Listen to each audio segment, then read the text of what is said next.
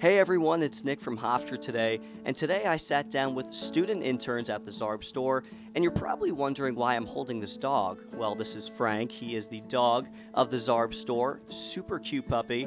But although he's not in the interviews, we did have a great time getting to learn more about these people and what they do here. So, with that, let's take a look.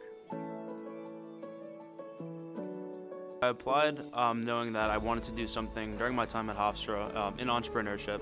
Uh, I always had a passion for it, still do, and I thought that this would be a great opportunity.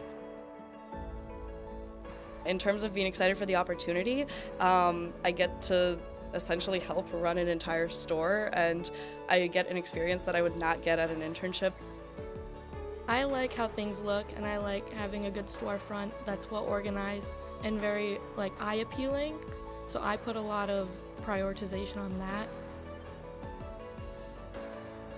Most importantly, we're trying to target our demographic, which is, well, we have multiple demographics, and I think primarily right now we're focusing on obviously our consumer, which is the students that we have currently on campus.